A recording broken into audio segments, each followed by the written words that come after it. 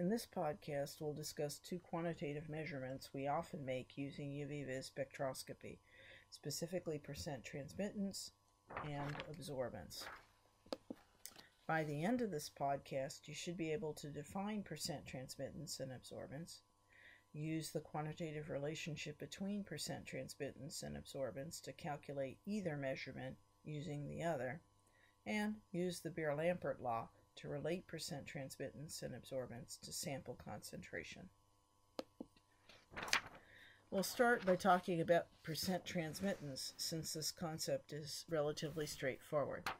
Imagine that you had a beam of 100 photons of blue light at a known wavelength lambda incident on a sample. If the sample absorbs some of the photons of light, then there'll be fewer photons of blue light transmitted through the sample. We might now have, say, 50 photons transmitted. If we know the number of photons we use to radiate our sample, and we can measure the number of photons transmitted, then that ratio, represented as a percentage, would be percent transmittance, or 50% in our example. Formally, the percent transmittance, or percent T, at any wavelength lambda is given by the equation at top percent t equals 100 times the ratio of p sub lambda divided by p naught lambda. In physics and chemistry, we use the term power uh, to represent the number of photons per second incident on a surface. And that's what the P refers to in the strictest sense on the slide. Now let's talk about absorbance. The term absorbance represented by this is represented by the symbol A, and it's defined as shown as the, on this slide, and it's given by the log of 100 divided by percent %t.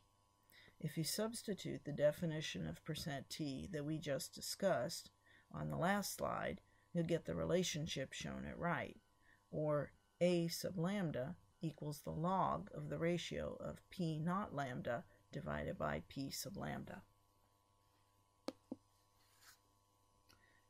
Now I'd like you to take a moment and uh, if you don't have your calculator, uh, pause the podcast and go grab it and take a few moments and explore the quantitative relationship between percent transmittance and absorbance and complete the table on this slide. When you filled it in, please continue to the next slide where you can reconcile your results.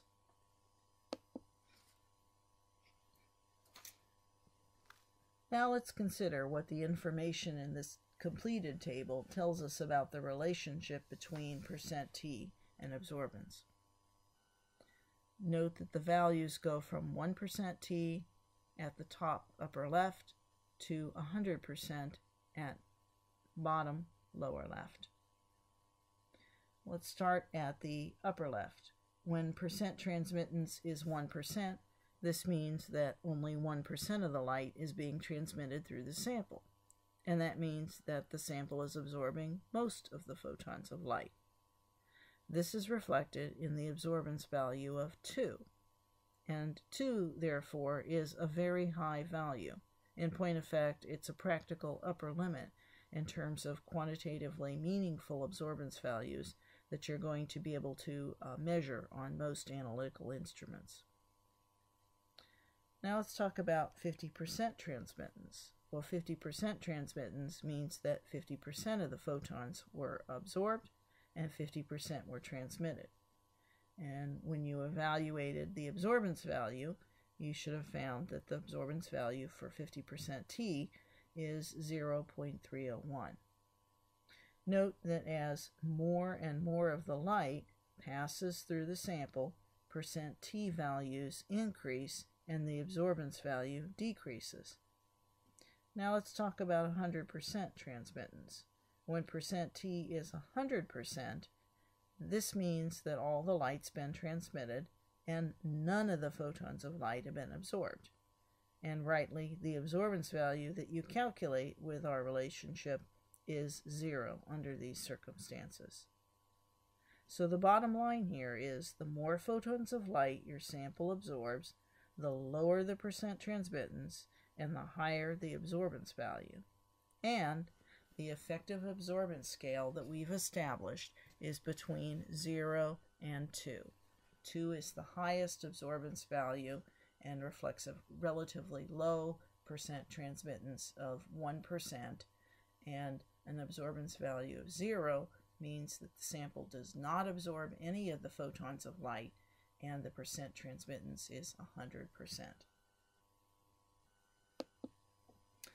Now let's explore the quantitative relationship between absorbance and the sample concentration.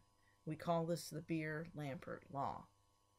It's given at up, upper uh, at the top of the slide.